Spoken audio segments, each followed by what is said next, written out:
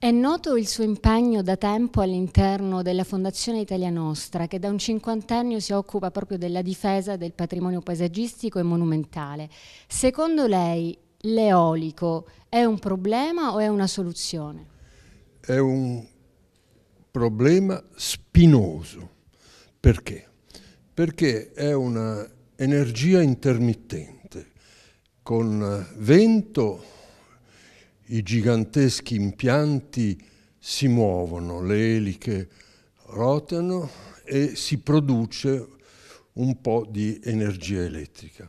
In calma di vento tutto è fermo, non c'è energia, la rete è in attesa di un'energia che non verrà, magari per un, un'intera giornata o per alcune ore.